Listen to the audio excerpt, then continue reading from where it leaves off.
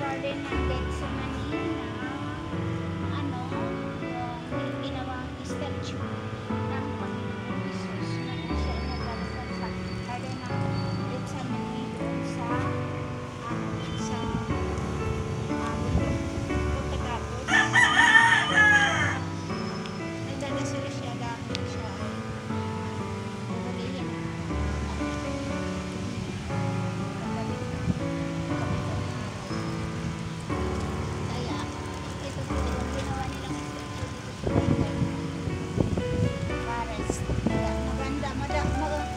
po dito, maganda.